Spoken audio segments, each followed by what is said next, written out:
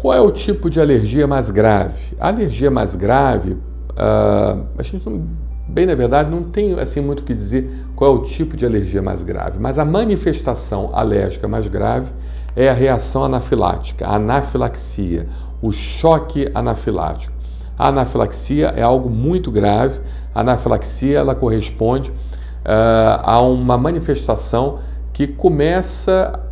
por, é, localmente, mas que pode por assim dizer, ter se envolver e se espalhar pelo corpo inteiro, ou seja, ter manifestações sistêmicas no corpo inteiro. Quando envolvem dois ou mais sistemas, ou seja, o sistema cardiovascular, junto com o sistema pulmonar, junto com a pele, junto com o sistema, com o trato gastrointestinal, quando envolve dois ou mais sistemas envolvidos, o paciente que apresenta uma grande urticária, que apresenta náusea, que apresenta vômitos, que apresenta diarreia, que apresenta é, falta de ar, né, que apresenta, por assim dizer, aumento da frequência cardíaca com queda da pressão arterial. Ah, quando você tem dois ou mais sintomas relacionados a isso, tudo que eu falei, ou um pouquinho mais, que tem mais coisa, você realmente está desenvolvendo anafilaxia e o único tratamento que tira o paciente da crise de anafilaxia, do choque anafilático, da reação anafilática é justamente a utilização da adrenalina.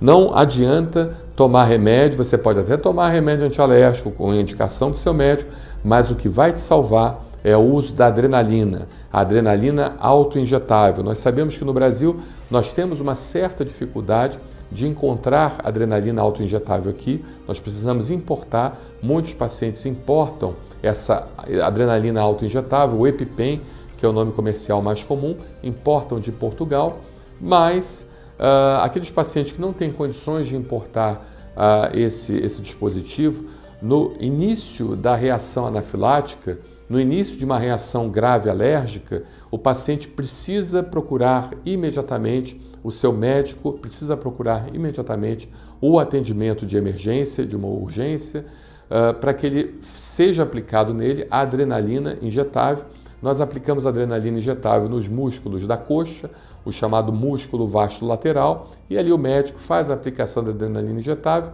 e salva a vida do paciente. Agora, não pode demorar, não confie no remédio que você tem na sua casa, porque aquele remédio não funciona numa anafilaxia. Ele pode ser utilizado após o uso da adrenalina ou até antes, né? Mas se você não tiver nada, você pode utilizá-lo, mas ele, ele tem a sua eficácia justamente para não causar a reação anafilática uh, a posterior, né? posterior à primeira reação anafilática, chamada reação anafilática bifásica. Então eles até têm essa, essa certa utilidade, mas o que realmente vai fazer com que você não entre na crise é adrenalina injetável. E, se possível, se você já for sabedor, por exemplo, você tem uma reação anafilática abelha, você tem uma reação anafilática vespa, você tem a reação anafilática a qualquer tipo de inseto, incluindo a própria formiga, você só de cheirar o alimento sendo cozinhado, muita gente só de cheirar o leite sendo fervendo, o camarão sendo frito, uh, o amendoim sendo torrado,